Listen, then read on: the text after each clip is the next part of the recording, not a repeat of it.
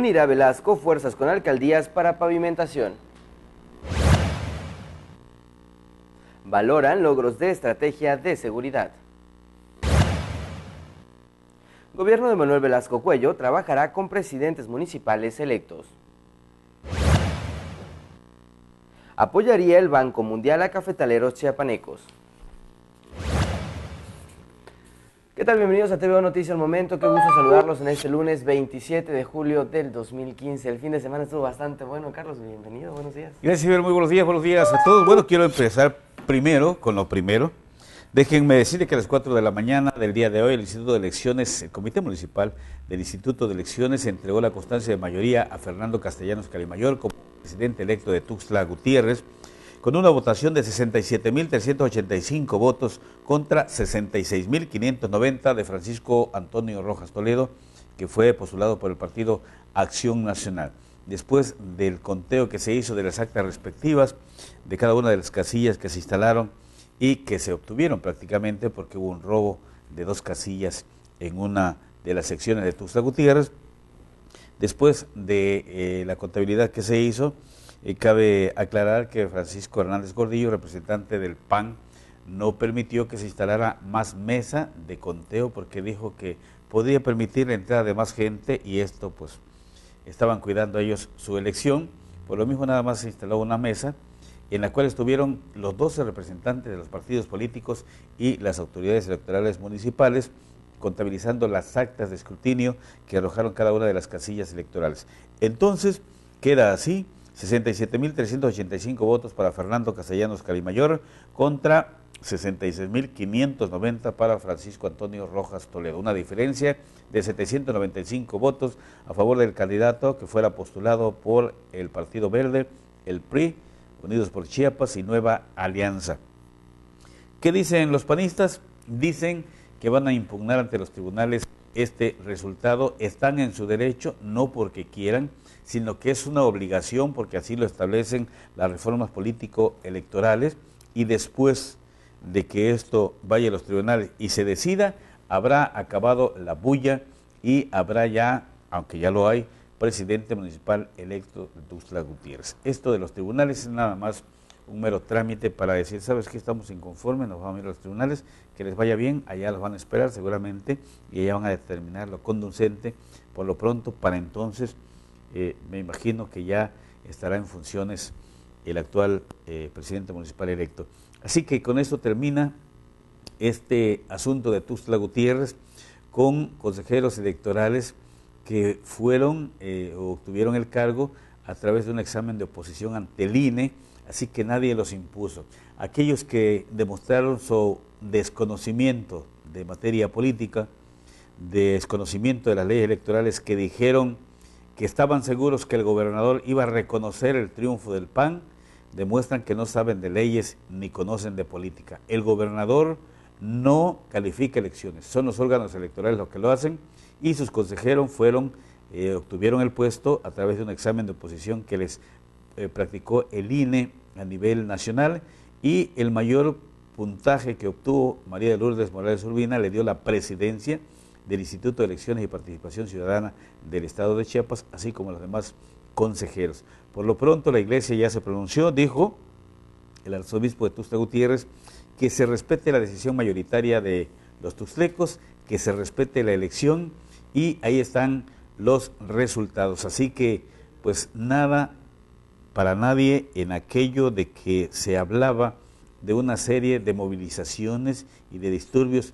Simple y sencillamente realizaron eh, los dos contendientes con sus seguidores simpatizantes eh, alguna marcha para demostrar el triunfo y como dicen, como para medir fuerza política, ¿no? Sí de alguna forma unas elecciones muy parejas, ¿eh? tanto para el Partido Acción Nacional como para la Alianza que En eso iba a derivar las reformas político-electorales. En varias partes de Chiapas se dio, este es un primer ensayo de lo que va a suceder a nivel nacional, también en otros estados que tienen elecciones estatales el próximo año, y en las elecciones del 2018, que vamos a tener eh, elecciones para presidente de la República, para gobernador del estado, senadores y diputados federales. Ojalá se empataran las elecciones estatales de Chiapas con la federal, ya para estar jugando a dos o tres elecciones eh, eh, en un determinado tiempo que desgasta políticamente a los partidos, a los candidatos y más a la ciudadanía y es un tiradero de dinero a la basura por estar haciendo tantas elecciones. Yo creo que una elección eh, cada tres años y cada seis es suficiente para Chiapas y para México y además eh, es importante también, por lo pronto aquí en Chiapas, algunos partidos perdieron el registro y otros a nivel nacional también perdieron el registro. Algunos de los que perdieron el registro en Chiapas, pero conservan el registro nacional, los van a poder eh, registrar nuevamente para otro proceso, pero no van a tener derecho a la prerrogativa que por ley les otorgan a los partidos. Así que eh, sería importante que después de este ensayo se hicieran reformas a la ley electoral del Estado de Chiapas. ¿Para qué? Para que ya desaparezcan estos partiditos, ¿no? Y a nivel nacional también, para que, lo hemos dicho siempre, desaparezcan estos partidistas que lo que hacen es dividir el voto y significan un gasto oneroso este, que viene del erario público, de los impuestos que pagan los mexicanos para mantener a estos partidos y a sus zánganos que, que lo dirigen. Entonces son partidos este, familiares, partidos de amigos, para tener poder y tener dinero. y yo creo que debería de aumentarse el porcentaje para obtener el registro que esta vez fue del 3%. Dos partidos se fueron al diablo, que no tenían razón de ser, e incluso se, les van a decomisar los bienes porque así establece la ley, muebles e inmuebles. Eh, eh, y lo decimos en la columna de hoy, este, los del PT en Chiapas ya fueron a esconder el bochito donde hacían sus convenciones, porque nada más son tres líderes que tienen que se van rolando los cargos de elección popular y de dirigencia partidista. Mientras uno es diputado federal, otro dirige el partido y otro es diputado local. Y así se van rolando. Y yo creo que ese tipo de partidos ya deben desaparecer para evitar polarizar la elección y estar eh, destinando recursos económicos que pueden servir para otra cosa importante para el desarrollo del Estado y de sus municipios. Pero ahí está el resultado, ya van de los 122 municipios van 118 ya entregadas las constancias de mayoría. En dos no hubo elecciones, en Nicolás Ruiz no permitieron la instalación de casillas y en Belisario Domínguez pues quemaron las urnas eh, los vecinos de Santa María Chimalapa, ¿no? de Oaxaca. Entonces ahí el Congreso del Estado va a ser el que va a determinar qué procede, porque ya es un asunto de carácter constitucional en donde no tiene nada que ver el Instituto de Elecciones. El asunto de Chilón no había este, eh, seguridad para los consejeros electorales municipales y representantes del partido para hacer el conteo de la votación y por lo mismo también ha habido un pequeño retraso. Pero de 120 eh, municipios donde hubo elecciones, el pasado domingo 19, 118 ya tienen su constancia de mayoría. Así que ahora lo que les queda es sentarse hacer la entrega-recepción, que no debe tardar mucho tiempo en cada uno de los municipios, para que vean qué encuentran y que le firme el que se va para que no los vaya a dejar sembrados con irresponsabilidades y no crean que se van a sentar en un lecho de rosas. Van a encontrar el desastre en que les van a dejar las administraciones, porque insistimos en tres puntos fundamentales en los que vienen arrastrando adeudos los ayuntamientos trienio tras trienio, que son los adeudos millonarios con la Comisión Federal de Electricidad, con el pago de proveedores a los que no les han cumplido por la realización de obras eh, públicas, por este eh, compra de equipo de oficina, papelería y una serie de cosas que todavía le deben, y los laudos laborales que se va, mientras no le paguen al trabajador despedido que les ganó el juicio, este se sigue incrementando, se sigue incrementando, se sigue incrementando, y dicen, no, hay que lo resuelva el otro. Y lo mismo, y ese dinero, pues prácticamente no es, un dinero prácticamente perdido, digamos, en el aspecto de que se puede invertir eh, en otras cosas si en su momento a la persona que corrieron le hubieran liquidado. Así de simple. Entonces, se van a encontrar una serie de, cuestiones y cosas muy difíciles que van a ser casi imposibles de resolver. ¿eh? Tienen la oportunidad de frenar eso. Sí, más que privilegio. Este, a, a toro pasado, como es el dicho, este, la, la presidenta de la Comisión de Energía del Congreso del Estado, estoy viendo una, una nota, este, de Rosa Simán, dice que paguen los ayuntamientos los adeudos con la Comisión Federal. Pero mire, dos meses antes de dejar el puesto, lo viene a decir, estuvo tres años en el, cargo de, de, diputada y como presidente de la comisión, y hasta ahorita viene a abrir el pico, como decimos, ¿no? Digo, ¿ya para qué? En el momento El Congreso del Estado tiene la obligación, a través de la Comisión de Vigilancia, la Comisión de Hacienda y la de Justicia, hacer a los ayuntamientos que cumplan con todas sus obligaciones y con la cuenta pública. El órgano de fiscalización lo propio y la Secretaría de la Función Pública lo propio y nadie hace nada. Y, y se vive en una impunidad en los ayuntamientos y va a seguir porque los que van a llegar van a encontrar un gran problema, que ni creen que de la noche a la mañana van a ir a sacar los millones de pesos que invirtieron para la campaña y comprar las presidencias, en muchos de los casos, sino porque primero hay que ponerle solución a la problemática que hay ahí en el este en los municipios. Pero bueno. Y aquí en Tuxtla Gutiérrez pasó de noche, ¿no? La actual administración. Definitivamente. Sí. Las obras que se hicieron fue por parte del gobierno del estado, por parte del gobierno federal, también mucha inversión que se hizo para. Pero se van a llevar. Ah, exactamente. y bueno, vamos a lo que muchos no quisiéramos, pero pues tenemos tenemos que tenemos que decir la realidad. En la jornada 1 del Liga MX del fútbol mexicano, los llamados grandes en su mayoría fueron goleados. Eh, este, esta jornada empezó el viernes, el Veracruz le ganó dos goles a cero al Guadalajara. Eso de las Chivas. Y el Morelia, mire usted, le ganó 3 a 0 al Cruz Azul de visitante el Morelia. ¿Y sabe usted quién es el técnico del Morelia? El Ojitos Mesa, el que era el técnico del Cruz Azul alguna vez. Así que ya los conoce perfectamente bien. Y no, y, no salgamos con que, ¿sabe qué? Es que el América, es que tales equipos tienen jugadores en la selección, tienen algunos lesionados. Se supone que el director técnico tiene plantel este, para sustituirlos, ¿no? Tiene suplentes. Si no, pues que se vayan a la, a la banca y que entren los de fuerza básica. ¿no? Y tus Tigres, tigres perdieron 1-0. Hasta los comentaristas dicen, es que, dice, es que los Tigres jugaron los Tigres jugaron con el equipo B porque están, este, esperando lo de la, Libertadores. y que si no sé qué, ¿no? pero el, Cruz Azul no, tiene, ¿a quién tiene la selección el Cruz Azul? Como para decir esto. Y saben qué, también debutaron con, con, con, el pie izquierdo dos técnicos este, medianos, de media tabla para abajo, que ahora dirigen equipos buenos, digamos, como Cruz Azul y América. Nacho Ambriz y este Sergio Bueno, ¿no? Que no es tan bueno, se vio que es malón. Bueno, entonces el Pachuca le gana 2 a 1 a Tijuana, el Querétaro de visitante le gana 2 a 0 al Atlas, el León de visitante le gana 3 a 1 al campeón Santos, le expulsaron a dos jugadores, al Santos se quedó con 9. Jaguares de Chiapas fue a darle la bienvenida a la primera división a los Dorados de Sinaloa, empataron a 0. Eh, tuvo muchas oportunidades Jaguares, pero la buena suerte le ayudó al equipo Benjamín, así que no pudo anotar el equipo chiapaneco. Los Pumas, Paco, le ganan 3 a 0 al Monterrey. Vamos a echar taquitos el día de hoy. Gracias al ingeniero Armando. Gracias, Inge, por ir al Monterrey. Ah, ¿no es? Ah, ok, ok. Pero, el, Inge, pero el Inge tiene paga, no tiene que esperar hasta la quincena. ¿Sí? Gracias, Inge, por ir al Monterrey. y gracias a usted, vamos a comer taquitos. Y el último partido de, la tarde de ayer, qué barba, cuatro goles a dos le metió el Puebla al América.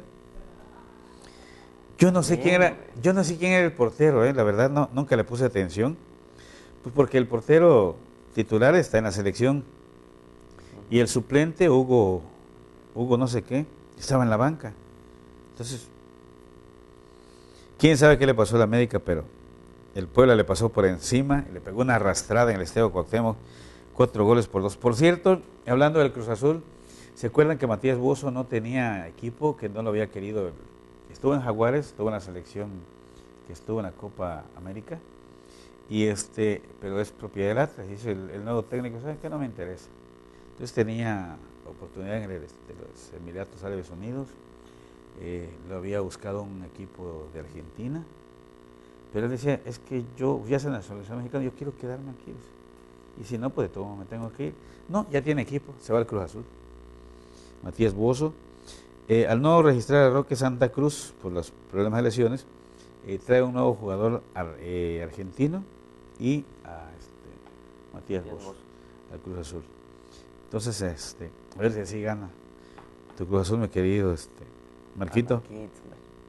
Y sin la ayuda del árbitro, la selección mexicana ganó tres goles a uno al equipo de Jamaica, ganó esa copita de la CONCACAF, eh, como dicen los de TV Azteca, esos torneos moleros, lo ganó la selección. La verdad, en lo personal, no sé usted, a mí no me, no me da gusto por la forma en que llegó la selección mexicana a esta final. Entonces, no es para celebrar, sino para ponerse a pensar qué van a hacer, porque si con esa eh, selección piensan ganar la eliminatoria para ir al Mundial de Rusia, pues yo creo que ya no vamos a ir, porque además el primer, los primeros partidos le toca contra Honduras y Estados Unidos. Y eh, está de por medio también, ahora, los comentaristas que decían que se vaya el piojo, ahora dicen, no, que no se vaya, ¿no? Bueno, o sé eso, no sé eso. Está de por, de por medio la millonada de dólares que se embolsan los dueños del fútbol mexicano y los que van a decidir si sigue o no el piojo van a ser los dueños del fútbol mexicano. ¿Por qué? Porque está de por medio de los millones de dólares que se embolsan en cada mundial cuando va a México. Y más si, si llega a, digamos, a los primeros lugares dentro de la disputa de la Copa del Mundo. ¿no? Entonces, así que vamos a ver que decidan los dueños del fútbol si sigue el piojo o no. Aunque les voy a decir también otra cosa, que de aquí al Mundial hay muchos jugadores de varios equipos que van a tener buen nivel y quizás muchos de los que están ahorita no vayan y vayan otros. Independientemente también de que ya se debe acabar el estrellitis, esas estrellitas que andan jugando en Europa, que ya dan muy buenos partidos y aquí dan partidos mediocres con la selección, también deben de darle de baja y meter a gente que tenga ganas de, trabajar y hacer las cosas si les pagan como seleccionados. Nos engañan a nosotros y nos ilusionamos con nuestra selección y ni así no hacen nada. Está Carlos Vela no sirvió para nada. Que por cierto también le dieron el reconocimiento como el mejor jugador de la Copa Oro Andrés Guardado. Ayer, se reempujó un golazo, el golazo, señor gol, ¿no? Sí. Y luego él, en los dos goles anteriores, pues agarró el balón y saber, yo lo tiro. O sea, seguro de sí mismo, así como debe ser el futbolista, ¿no? Eh, aunque vivimos en un país de tercer mundo, juegan en, el primer mundo, les digo, no da chico. O sea, si estás jugando en primer mundo es porque tienes calidad. ¿Y por qué esa misma calidad no lo demuestras en la selección? Eso también sería bueno preguntárselo a los jugadores. Así que así está esta primera jornada. Tres de los llamados grandes mordieron el polvo con goliza de América 4 a 2, Cruz Azul 3 a 0, Guadalajara 2 a 0 y goliza también de los Pumas, hay que reconocerlo, 3 a 0 al Monterrey no me vengan de que tienen lesionados, que tienen este, seleccionados, nada Nada. Para nada. Perdieron y punto. Así que vamos a ver las siguientes 16 jornadas. ¿Perdón? Pero no sirven los cafetaleros que no son chapanecos, pues. Los trajeron de Tamaulipas. Digo, y bueno, ¿y dónde están los ocelotes que si era chapaneco? ¿Alguien sabe? Sí. Pero cuando ya, pero ya empezó el torneo y no, no se sabe dónde andan los ocelotes de la Nash, que estaban en, Tapachula. ¿Dónde están los guerreros del Atlético Chepa? Ya no existe por traer ese equipo. ¿Sí? ¿Dónde están los jugadores chapanecos? Ya se fueron. ¿Sí? Los de los este, guerreros se fueron a Veracruz y para ellos mejor porque ahí pueden tener más visoría de los equipos del centro, del Veracruz o del Puebla que están, que están cerca, ¿no? ¿Y dónde están los muchachos de los ocelotes de la UNASH? Chapanecos. ¿Y dónde están los chapanecos en los jaguares de Chiapas? No hay. Andan buscando, cascareando, como es aquel por otro lado, para ver si agarran oportunidad a otros equipos. Porque aquí nadie los pela. Nos ofrecieron una escuela de talentos de fútbol para nutrir a jaguares de Chiapas en el corrupto gobierno anterior. ¿Y dónde están? No vemos a ninguno. O sea, nos siguen dando a tole con el dedo. Así que, cafetaleros, cafetaleros nosotros, porque tomamos café todos los días, pero no sé si lo sientan, pero de todos modos perdieron. ¿Con quién perdieron, Inge? Ah, bueno, ahí está. Correcaminos también de Tamaulipas. O sea, se dieron un arrón entre hermanos en Tapachula. Ah, ya fue en Tamaulipas. De todos modos fue un agarrón entre hermanos. 3 a 1 perdieron los cafetaleros. Pero además no, no oye, pero además, dije, pero además no toman café porque no son cafetaleros, toman gasolina porque hay mucha gasolina y petróleo allá en Tamaulipas. Van a jugar la Copa el miércoles. Jaguares y Cafetaleros. Hermanos también, de Tamaulipas. Entonces, ¿Cómo quieren que uno sienta Jaguares? claro. ¿No? Ni cómo. Por cierto, también ya empieza mañana, ¿no? La Liga MX. Hay varios encuentros. Mañana la Liga. Así que vamos a estar en futbolados toda la semana y el fin de semana. Así andan las cosas. Pero ya, ya, este, ya se jugaron y todavía no. La final, ¿no? Los Tucanes. Los Tucanes de don Jaime Mantecón. ¿Quién otro es? es Palenque también, ¿no? Huacamayas. En la liga de, Tabasco. Ese es que les, enoja, les, enoja a algunos. Porque dice, ¿cómo es posible que los invitados se lleven el título, no? bueno, es que aquí hay muy, muy buenos futboleros en Chiapas. Eh, bueno, en Tuxtla yo no he visto que sean muy futboleros. En Arriaga, Tonalá, Pijijiapan, eh, Juárez, Palenque, Reforma, por ahí son muy eh, beisboleros, en, esos, en esos municipios de Chiapas. Pero bueno, trajeron un equipo, Tucanes, eh, lo reforzaron con elementos de, la Liga Mexicana de Béisbol. Y ahí está, ya en la final de la Liga de Tabasqueña, ¿no? Y ahí sí la afición se pone impresionante. En el Panchón Contreras se, ponen buenos. Sobre todo en, en, cuestiones de convivir, este, echar relajo. Eh, echan unas mentadas porque es otro. Sí, se divierte.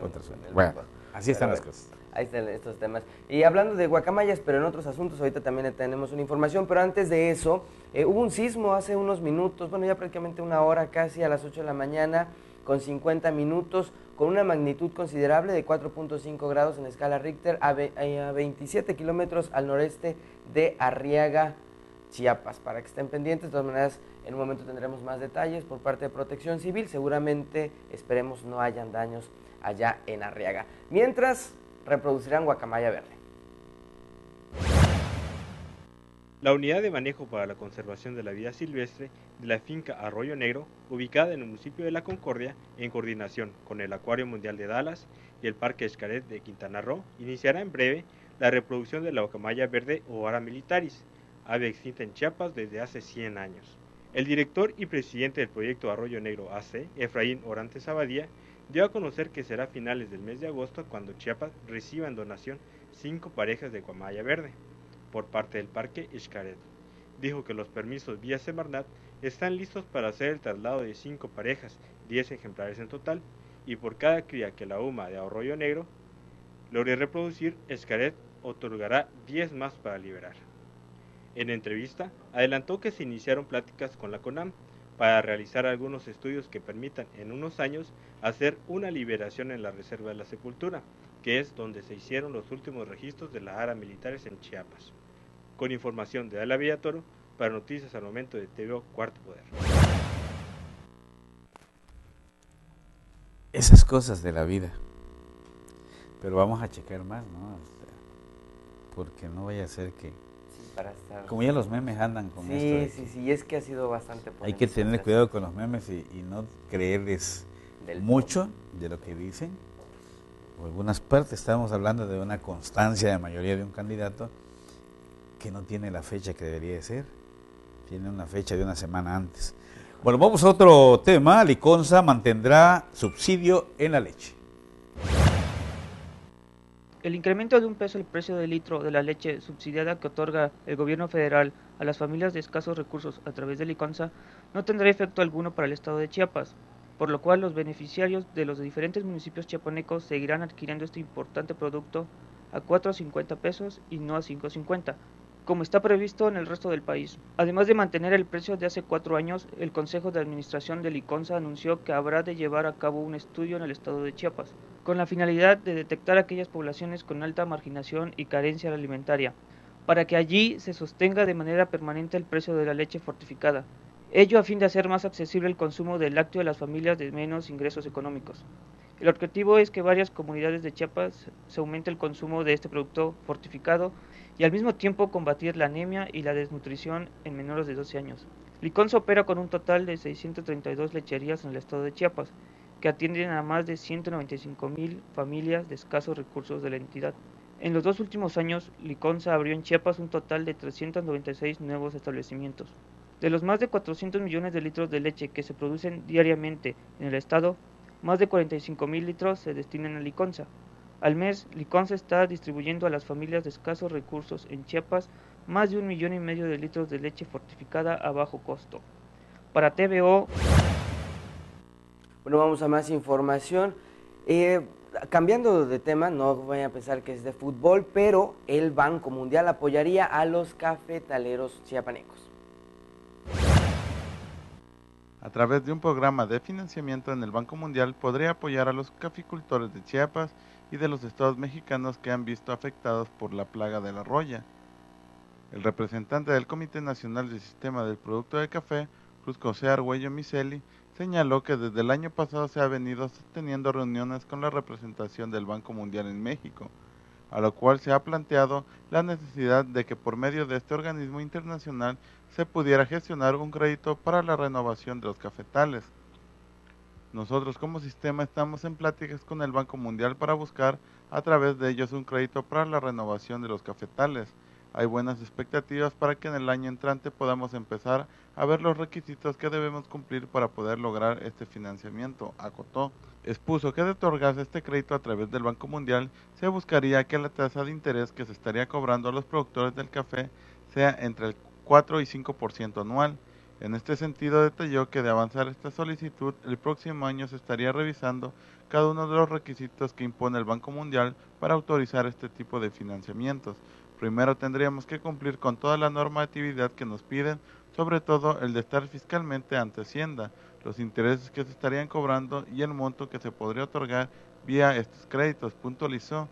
Argüello Miseli dijo que se pretende que sea la Asociación Mexicana de la Cadena Productiva del Café AC la instancia responsable de ver de que bajen de manera correcta los recursos que otorgaría el Banco Mundial para posteriormente llevar a cabo la dispersión del crédito, por lo que confío de que este se pudiera decretar el próximo año.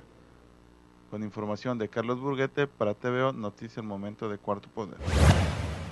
Le decíamos al principio, mire usted, esta madrugada el Instituto de Elecciones y Participación Ciudadana le otorgó la constancia de mayoría al candidato de la herencia del PRI, PBN, PANAL, Partido Chiapas Unido, Fernando Castellanos Calimayor, al alcanzar su triunfo con una diferencia de 795 votos por encima del candidato del PAN Francisco Rojas Toledo. La celebración, la celebración del hoy presidente electo fue con un gallo motorizado sobre la avenida principal que partió desde el IEPC municipal, donde sus seguidores permanecían en plantón desde hace una semana en espera del resultado del cómputo de los consejeros, de los consejeros municipales. Fernando Castellanos Calimayor, candidato de la Alianza PRI PBM Panal Partido de Chiapas Unido logró una votación de 67.385 sufragios, en tanto que el candidato del PAN, Francisco Rojas Toledo, logró 66.590 votos, es decir, Castellanos Calimayor ganó por una diferencia de 795 escaños. Se espera que a las 10 de la mañana, o sea, en 10 minutos, el Consejo General del IEPC estatal reanude sesión debido a que los consejeros municipales del IEPC de Chanal Chilón y Amatenango del Valle aún no han dado resultados en el proceso de conteo de votos. Es lo que le comentábamos, que van 118 eh, municipios ya contabilizado el resultado electoral. Faltan Chanal, Chilón y Amatenango del Valle, de los 120 municipios en donde hubo elección, porque dos, en dos se suspendieron. Aquí vemos la, la imagen de Fernando Castellanos con sus seguidores a las 4 de la mañana, enseñando, eh, pues, ahora sí, la constancia de mayoría que le da el triunfo como presidente municipal electo de la capital, Tuxtla Gutiérrez. Vamos a otro, ahí están las imágenes, aquí vemos a, a los dirigentes de los cuatro partidos que respaldaron a Fernando Castellanos Calimayor en el momento en que enseña la constancia de mayoría ante sus seguidores y al recibirla de parte de los consejeros municipales del Instituto de Elecciones y Participación Ciudadana. Fernando Castellanos Calimayor, presidente municipal electo de Tuxtla Gutiérrez. En otro tema, nuncio apostólico encabeza homilía en Chiapas. Acompañado el nuncio apostólico Christophe Pierre, el arzobispo de Tuxtla Gutiérrez, Fabio Martínez Castilla, encabezó diferentes actividades con la comunidad católica de la entidad en el marco de los 50 años de la génesis de la arquidiócesis de la capital chiapaneca. Las autoridades eclesiásticas junto al representante del Papa Francisco refrendaron su compromiso de seguir promoviendo el amor al prójimo, para lo cual exaltaron la importancia de cumplir tres valores, esperanza, gratitud y compromiso. Martínez Castilla insistió a la comunidad creyente que lo que la Iglesia busca es armonizar los corazones en un proceso sistemático de evangelización en el que debe de estar intrínseco el camino de la comunión. Solo de esta manera se tendrá una diócesis de salida que se abra a las necesidades de una iglesia universal. Para TVO Noticias del Monte Cuarto Poder con la información de Ana Laura Mondragón. En otra información, firman convenio educativo. Directivos de la Canaco Servitur firmaron un convenio de colaboración con una universidad privada Unisur para el otorgamiento de becas a sus trabajadores y empleados, así como familiares en primera línea de consanguinidad es decir, padres, hijos y cónyuges. Al término de un evento en estas oficinas del comercio organizado en el centro de Tuxtla, se precisó que estas becas eran únicamente en colegiaturas a partir de la segunda, tercera y cuarta mensualidad, en los niveles y áreas en que presta los servicios educativos, dentro de las condiciones y requisitos que se señalen en este instrumento jurídico. También se cita que se proporcionarán todas las becas que les sean requeridas en todos los niveles, siempre y cuando no rebase el 5% del total de alumnos por aula, en las diferentes áreas académicas con las que cuenta esta universidad, sean de primer ingreso y cumpliendo con los requisitos que establezca la institución académica. Se pretende que este convenio tenga una vigencia de tres años en los que cada alumno tendrá la obligación de estar al corriente en el pago de sus colegiaturas, además de mantener un promedio de calificaciones de 8.5 previsto para tales fines. Para TVO Noticias Monte Cuarto Poder. Esta información deportiva, por cierto, en la Ciudad de México se generó Dice, el entrenador de la selección mexicana de fútbol Miguel El Piojo Herrera agredió a golpes al comentarista de televisión Cristian Martinoli en el aeropuerto de Filadelfia.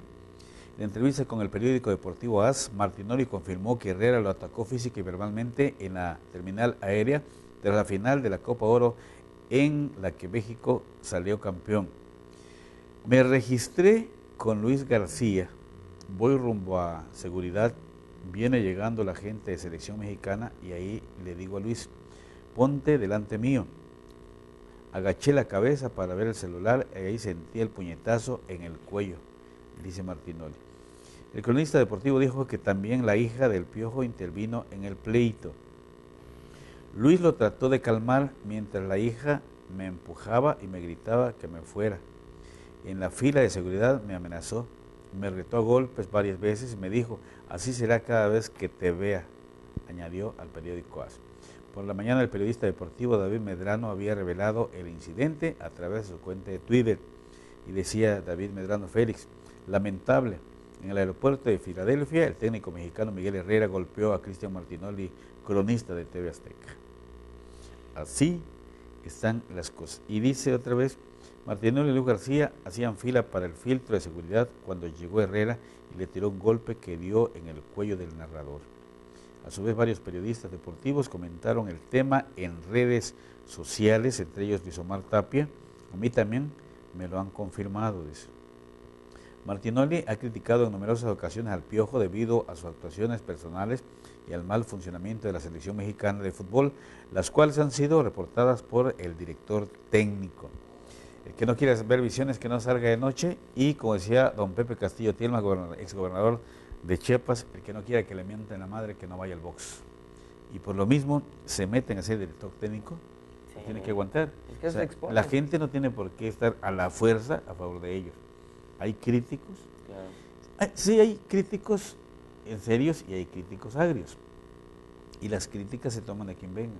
Y por lo mismo no tienen por qué enojarte y más cuando eres un ente público, ¿no? Como los políticos, como los directores técnicos, los futbolistas, los boxeadores, los deportistas, pues en general. Creo que ambos están haciendo su trabajo. Están haciendo su trabajo y por lo mismo, no sé si el asunto ya sea un poco de carácter personal de parte del comentarista o sea línea de la empresa también, porque pues hay intereses de por sí, Pero al grado que el piojo le diga así va a ser cada vez que te vea, pues sí está fuerte el asunto entre ellos, ¿no? Pues que se ponga Martinoli a que se ponga a hacer ejercicio, a practicar box, ¿no? O taekwondo, algo. Digo, Mire, una cosa es que seas periodista y te pongas a llorar en una amenaza porque todo el mundo nos amenaza, desde siempre. Y otra cosa es que le diga, bueno, ¿y en calidad de qué me amenazas? Tú y yo estamos iguales a la hora que quieras, ¿no? Deja tus instrumentos de trabajo y como hombres nos tallamos el cuero. Así de simple. ¿Para qué vas a andar este, llorando? Sí. ¿Perdón? Sí, va. Sí, ya está confirmado, lo agredió. Pues que lo demande penalmente, ¿no? También podría hacerlo, sí, claro. Así, simple. Y para que mida su distancia el piojo, porque si ya lo amenazó, eh, te voy a agarrar trancas cada vez que te encuentre, pues. o, una, o, una, dos, o lo demanda para que se deje, o también entra, ¿no? A los cates, total. Bueno, vamos a otra información. Los hombres, o mejor dicho, los bomberos, que también son hombres la mayoría. la mayoría en Estados Unidos, en Europa hay mujeres bomberas, ¿eh? Y muy buenas para la chamba. Bueno, los bomberos reciben gran número de llamadas falsas al día. Hasta 40 llamadas falsas recibe diariamente el cuerpo de bomberos, tanto de niños como adultos, que únicamente llaman para insultar o en su caso dar el reporte de algún incidente falso, refirió el Comando Operativo de Bomberos en la capital del estado, Gustavo López Gómez. En este sentido, hizo un llamado urgente a la sociedad Tuxtleca a fin de dejar de realizar esta mala práctica, toda vez que representa un gasto importante para el cuerpo de bomberos, el pago de combustible y deterioro de las unidades, además de que al cubrir un servicio los oficiales y voluntarios se exponen su vida, debido a que los bomberos no reciben ningún apoyo económico que solventen su manutención, más que la contribución por parte del SMAPA, la situación se agrava aún más ya que el equipo que se utiliza para atender las llamadas de auxilio tiene características especiales que incrementan los costos. Para TVO Noticias Monte Cuarto Poder con la información de Nayeli Mijangos. Bueno, ya se lo comentábamos al principio del programa, ¿por qué hasta ahorita? ¿Por qué hasta ahorita la invitación a que no dejen adeudos cuando se pudo haber hecho desde antes, no? Obliga. Espérame, ya que dijiste adeudos. A ver. Digo, tampoco es lunes, ¿no? ¿Para qué, ¿para qué se enojan? Pero, pues, para iniciar la semana. ¿Para qué se enojan? Dice, mira, el Senado alteró el reporte de subvenciones a los grupos parlamentarios durante 2012 por una cantidad de 614 millones de pesos. Se están haciendo perdedizos 614 millones de pesos. ¿Dónde quedó la bolita? ¿Quién se la clavó? En un principio, dice la Cámara de Senadores, reportó la entrega en ese año de 430 millones 300 mil pesos y después dijo que la cifra en realidad correspondió a 1.045 millones de pesos. La diferencia 614 millones de pesos, equivale al 10% de los 6.128 millones de pesos que recibieron los grupos parlamentarios durante nueve años. Justo en 2012 comenzaron a aumentar de manera significativa las subvenciones a los grupos parlamentarios. Hoy son 286% superiores a las ejercidas hace dos legislaturas. Mira toda la lana que le dan a los coordinadores de fracciones. Sí. Sé si es un negociazo ser senador o diputado. Entonces, están haciendo bueno, mejor dicho, no aparecen 614 millones de pesos. Habría que ver en el 2012 quién era el coordinador de, del Senado, ¿no? Si era, como, como es este, optativa, la, mejor dicho, rotativa la, administración de los recursos de las cámaras, Senado, Cámara Federal y Congresos locales, del partido que tiene el mayor número de, de, diputados es el que administra, después el que le sigue, después que, el que le sigue hasta que se terminan los tres años o se terminan los seis. En el caso de los congresos y de la Cámara Federal son tres años, es un año por, de administración por cada, por cada partido, ¿no? por cada bancada mayoritaria. Habría que ver en el 2012 quién era el presidente del Senado y dónde quedaron esos 614 millones de pesos y más que se pueden estar robando antes de irse, aunque a los senadores todavía le quedan tres años. ¿no? Imagínate, y si a eso le sumamos que 8.5 millones de mexicanos podrían estar en riesgo de caer en pobreza. Imagínate cuánto dinero se pierde en, este tema y cuánta es la gente que podría esos caer en pobreza. Esos 614 millones de pesos podrían servir para paliar la, el hambre de muchos mexicanos y, no hacer más millonarios a los senadores, ¿no?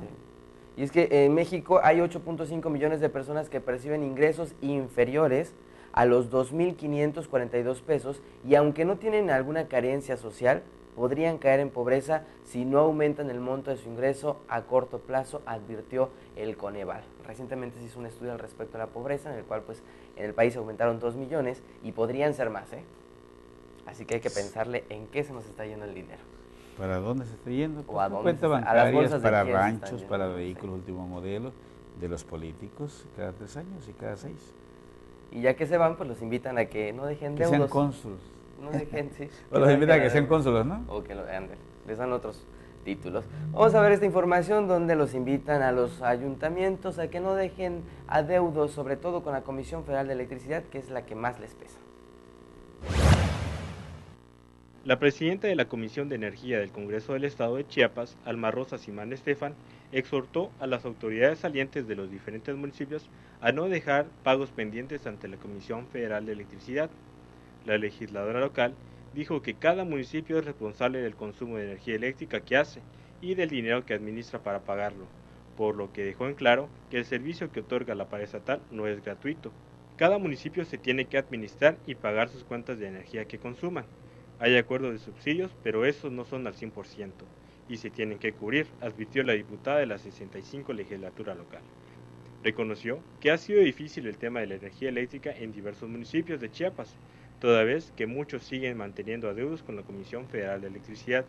En ese sentido, dijo que a través del Poder Legislativo, los municipios y la CFE han llevado a cabo acercamientos para tratar el tema de los adeudos por el consumo de energía eléctrica y establecer esquemas que permitan subsanar de manera gradual la deuda que mantienen con la pared estatal. Varios municipios del estado de Chiapas enfrentan problemas de falta de pago ante la CFE con facturas millonarias, lo cual ha derivado en el corte del suministro en varias localidades. A principios de este año, los municipios de Tapachula, Unión Juárez, Mapastepec, Suchiate, Tuxtla Chico y Villa Comaltitlán sufrieron cortes de energía eléctrica por parte de la CFE, debido a que en conjunto representan un impago de cerca de 68 millones de pesos. Con información de Carlos Burguete, para TVO Noticias al momento de Cuarto Poder. Vamos a otro tema, aumenta migración de menores centroamericanos. En los primeros cinco meses del año, las autoridades federales rescataron a 11.893 niños, niñas y adolescentes centroamericanos que habrían ingresado al territorio mexicano sin documentos, de los cuales más del 50% iban solos rumbo a Estados Unidos. Estos son mucho más de los asegurados en el 2013 y 2014, que sumaron 3.496 y 8.003 respectivamente, siendo la mayoría de ellos originarios de Guatemala, Honduras y El Salvador.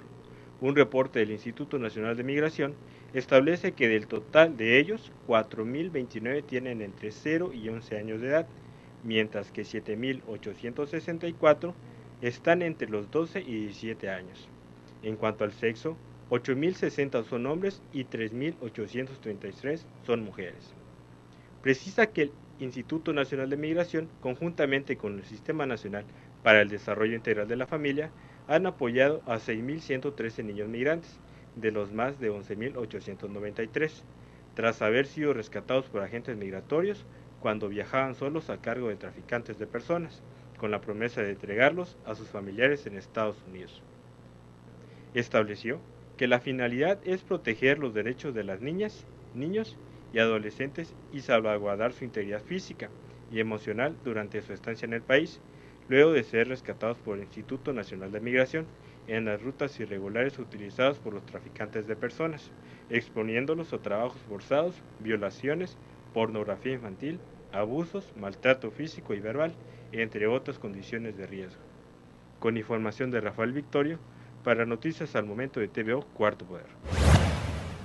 Y vamos a más información. No todo está perdido ni todo es malo en México. Mexicanos avanzan con nanotecnología para evitar la ceguera. A través de la nanotecnología, dos médicos mexicanos en conjunto con la firma estadounidense Opco Health desarrollaron unas gotas para tratar afectaciones en la retina, entre ellas el endema macular diabético, la principal causa de pérdida moderada en la visión a nivel mundial. Estos dos doctores mexicanos se llaman Arturo Santos y Carlos Altamirano, pertenecen al Centro de Retina Médica y Quirúrgica. En conjunto con la firma estadounidense Opco Health, usan la nanotecnología para desarrollar un tratamiento tópico, es decir, unas gotas, que tienen el mismo efecto que las inyecciones intraoculares empleadas para tratar afectaciones en la retina, entre ellas el endema macular diabético, la principal causa de pérdida moderada de la visión a nivel mundial. Importante este hallazgo. ¿eh? A diferencia de los tratamientos convencionales que se llevan a cabo a través de una inyección que es aplicada directamente al ojo,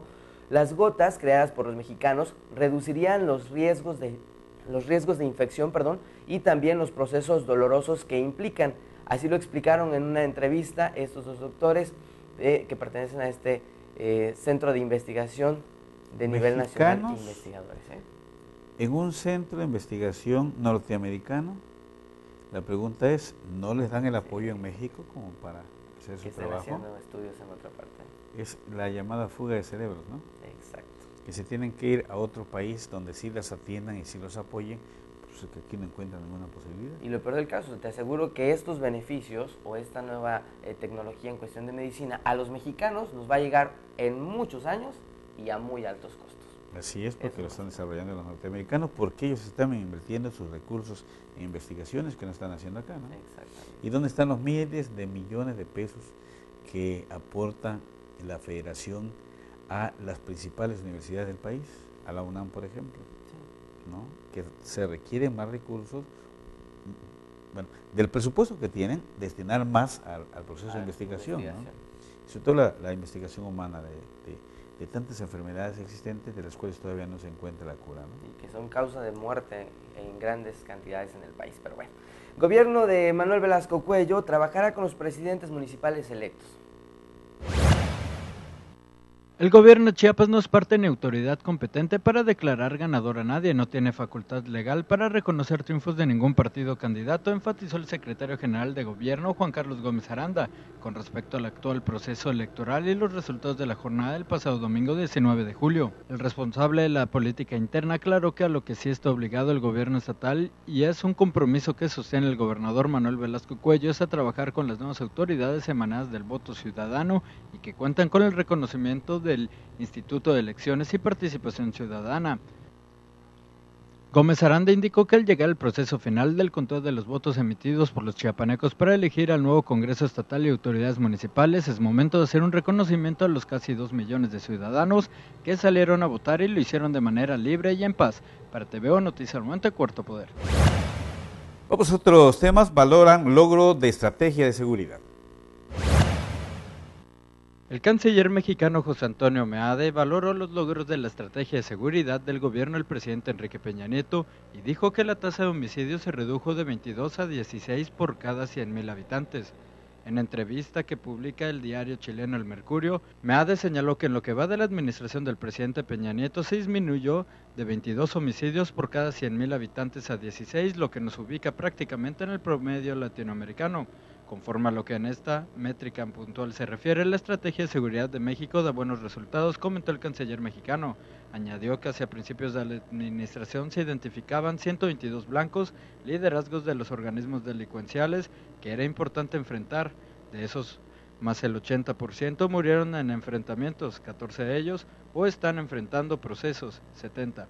Respecto a la fuga de la cárcel del narcotraficante Joaquín El Chapo Guzmán, Meade aseveró que es lamentable e implica para México redoblar esfuerzos, pero cuando uno ve el tema de seguridad en un aspecto más amplio, ve un país que en dos años y medio ha reducido sustancialmente la violencia. Para TVO, Noticia al Momento de Cuarto Poder. Más información, unirá fuerzas el gobernador Manuel Velasco Cuello con las alcaldías, sobre todo para este tema importante, la pavimentación. Los programas de pavimentación en cada uno de los 122 municipios serán reforzados junto con los ayuntamientos municipales. Así lo adelantó el gobernador del estado, Manuel Velasco Cuello.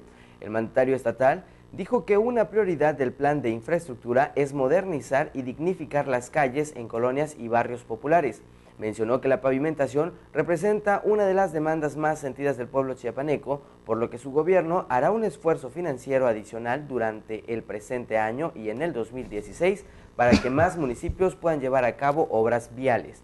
Velasco Cuello indicó que si bien la pavimentación es solicitada en todo el estado de Chiapas, también es una labor que cambia el rostro de las ciudades y ayuda a mantener un mayor número de turistas. Bueno, vamos a ver ahora el mapa de Chiapas. En cuestiones climatológicas aparece en color azul completamente y nos indica lluvias fuertes de 0.150 milímetros.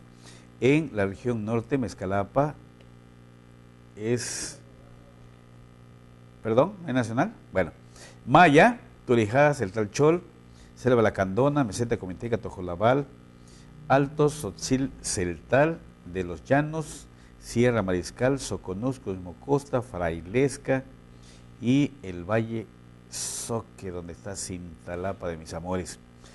Se prevén lluvias fuertes con un ambiente caluroso o muy caluroso en la región. Los eventos estarán acompañados de actividad eléctrica, rachas de viento fuertes en zonas de tormenta. Como siempre, lo invitamos a que abrigue a los niños, a las madres embarazadas y personas de la tercera edad, precisamente por estos constantes cambios de clima que se dan por propio de la temporada en municipios y regiones de Chiapas y hay que estar atentos, poner mucha atención a las recomendaciones que hace la Secretaría de Protección Civil a través de los diversos medios de comunicación. Y mantenerse bien hidratados, ¿eh? porque ahorita los días de calor están fuertes en este verano. Son 40 días, ¿no? ¿Cuánto llevamos una semana? Yo creo que llevamos la primera semana y ya está fuerte. ¿De la canícula? Sí. Que hemos estado aquí en Tusta, 32, 33 grados centígrados. se no ha llegado tan, tan, elevado como otros tiempos que hemos tenido 40 grados. Hasta 40.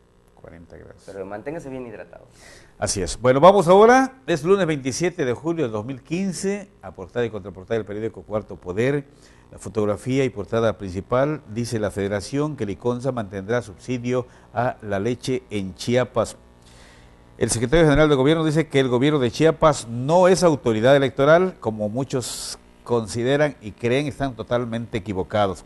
Asegura el secretario Juan Carlos Gómez Aranda no es parte ni mando competente para declarar ganador a nadie tras el proceso electoral del 19 de julio, además de que no tiene facultad legal para reconocer triunfos de ningún partido o candidato. En Chiapas, también unión con ediles para avanzar en pavimentación, dice el gobernador, quien coordinará un frente común con el Poder Legislativo para lograr que la Federación asigne más recursos a programas de infraestructura municipal alcaldes están obligados a pagar sus adeudos con la Comisión Federal de Electricidad, sí, pero no de la noche a la mañana. Cintalapa, por ejemplo, debe 12 millones a la Comisión Federal y ¿dónde va a agarrar 12 millones para pagarle de un jalón? En la contraportada, el fútbol México es campeón de la Copa de Oro. En los Panamericanos, Longoria y Salas son bicampeonas. En interiores, por cierto, de nuestra edición de hoy, Pumas y Morelia comparten el liderato en la jornada 1 del fútbol mexicano. En vialidad, colectivo empata contra Corolla. En operativo detiene efecto a uno de los diablos, Leonel López Sánchez, de 49 años, fue arrestado en las inmediaciones del Panteón Municipal de Tapilula en posesión de droga que tenía oculta en un automóvil. En Tuzla, choque deja a mujer y a bebé heridos. Y en la sección de opinión hoy están Rafael Victorio Ruiz, Alejandro Moguel Serrano y Carlos César Núñez Martínez, su servidor. Portada y, contraportada del Cuarto Poder del lunes 27 de julio del 2015. Así es, así está la portada del día de hoy. Lunes y también recomendarles que tengan mucha precaución. Siguen los operativos, pero hasta el momento no se ha reportado de que realmente los capturen, porque también siguen los asaltos en motocicleta e incluso hasta con, con armas. Así que, por favor, cuídese de preferencia. Digo, es lamentable que ya no podamos disfrutar una tarde afuera de tu casa, sentado como antes se hacía por este problema de la inseguridad. Pero es que hay tanta migración de ciudades a ciudades, estados a estados, de gente que llega procedente de otros lugares que ni sabemos qué delitos cometieron por allá y por acá andan. Ahora, estos tipos que andan en moto, que han robado motos para cometer sus asaltos, qué raro que la policía no los vea. Seguramente son profesionales que vienen de otra parte o de otro estado de la República, que por cierto, ahora de estas campañas mi hijo anda ahí en las campañas, lo asaltaron este, en moto, le quitaron, esto fue, eh, yo no apenas me acabo de enterar el fin de semana, eh, porque no, prácticamente no dijo nada, ¿no? Eh, le quitaron la, la, el portafolios con una lap, le quitaron sus dos celulares y le quitaron su sueldo y su tanto. Así se las gastan en la ciudad más segura del país. ¿Más segura para quién? En Tuxtla Gutiérrez no hay seguridad, señores. Hay robo a casa, habitación, asalto a gente que está saliendo de las instituciones bancarias, como en este caso, eh, incluso el hijo de un compañero que está aquí, que no quiero decir el nombre, también lo asaltaron. sí.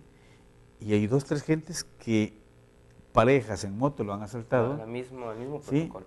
el mismo, el mismo procedimiento que, y digo, y no lo miran las autoridades. ¿Dónde está la policía? A quién le roban, ¿no?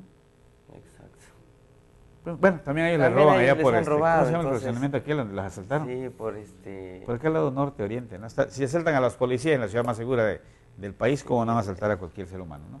Pero bueno. Pues hay que cuidarnos un poquito y, y extremar precauciones. Más detalles en nuestra página web www.cuartopoder.mx, a través de nuestras redes sociales, nos encuentra en Twitter como arroba cuartopodermx y también en nuestro canal de YouTube. Recuerde que encontrará la repetición de este espacio informativo en unos minutos más para que también eh, la vea si en algún momento se perdió la emisión en vivo en punto a las 9 de la mañana.